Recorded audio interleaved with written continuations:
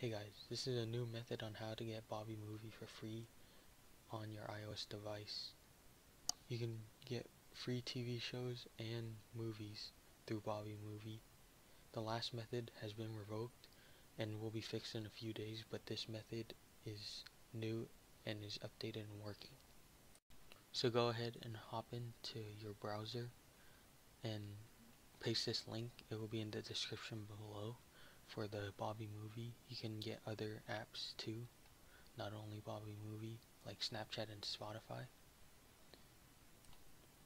You're also going to need Cydia Impactor, which will install the IPA file onto your iOS device. Go ahead, search it up into your browser under Impactor and download it for your computer. Next, run Impactor once it's done downloading.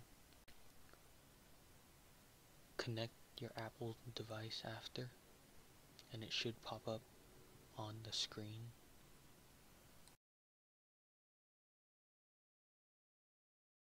Once it's connected, go ahead, drag and drop your Bobby movie file into the Cydia Impactor and log in with your Apple ID don't worry, it's perfectly safe. I've done this millions of times.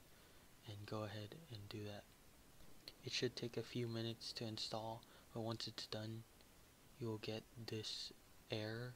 Don't worry, it should should work, but just ignore the error. And I'm gonna hop into my Apple device.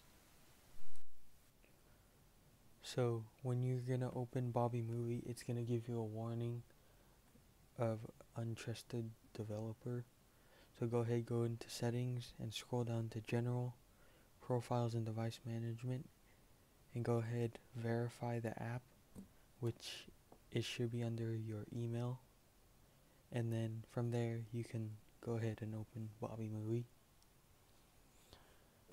Now as you can see we have any movie we want and you can get free TV shows also.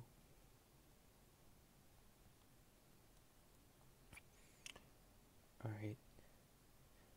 And if you want to download a movie, go ahead and click on it and press the button on the right.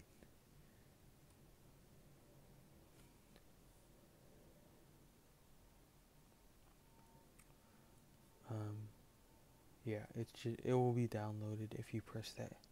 Alright, thanks for watching. Please comment, like, and subscribe. If you have any questions, I'll answer them in the comment section. Thanks for watching.